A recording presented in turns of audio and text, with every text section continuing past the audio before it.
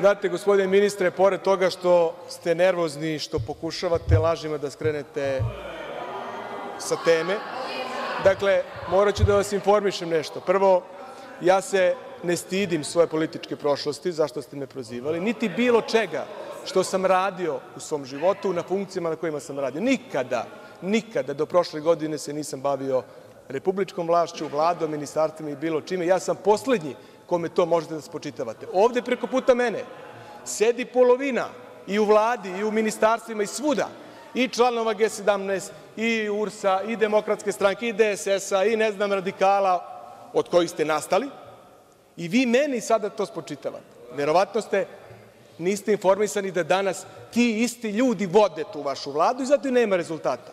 Ja imam puno pravo da danas govorim o tome jer šestu godinu vladate. Ja nemam čega da se stidim.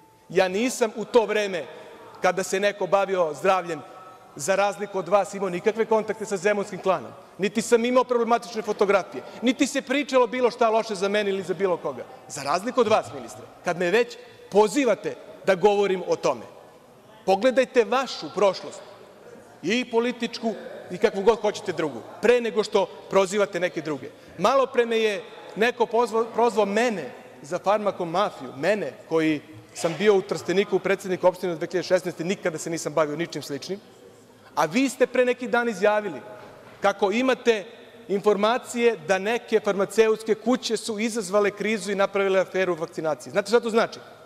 Da vi znate, nećete da kažete ko treba da odgovara zato što narušava zdravlje građana Srbije. To je neodgovorno ponašanje jednog ministra. Izađite i recite ko je ta farmaceutska kuća koja se igra sa životima i zdravljem građana Republike Srbije. Zahvaljujem.